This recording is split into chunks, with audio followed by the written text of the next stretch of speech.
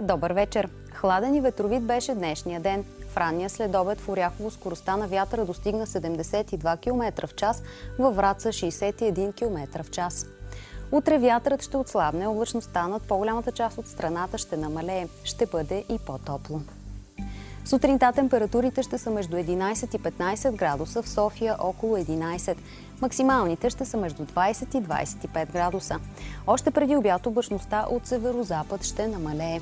Атмосферното налягане ще бъде близко до средното за месеца. Над планините ще бъде облачно и на отделни места в Рило-Родовската област слабо ще превали. Ще духа до умерен вятър от север-северозапад.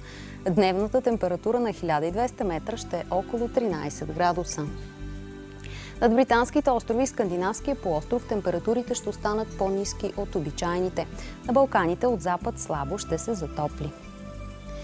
Утре в западните и централните райони на полуострова ще бъде предимно слънчево.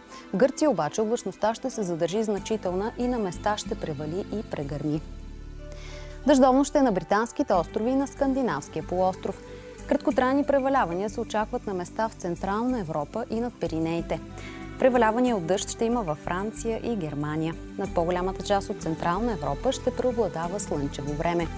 Валежи с грамотевици се очакват на места в Чехия и Австрия. Над Южна Европа ще бъде предимно слънчево. У нас събота и неделя ще бъде предимно слънчево. Затоплянето ще продължи и в неделя. Дневните температури ще достигнат 25-30 градуса. В началото на следващата седмица ще има повече слънчеви часове. След обяд над западните райони ще се заоблачи и на места е възможно слабо да превали. Такава е прогнозата за времето. Приятна вечер!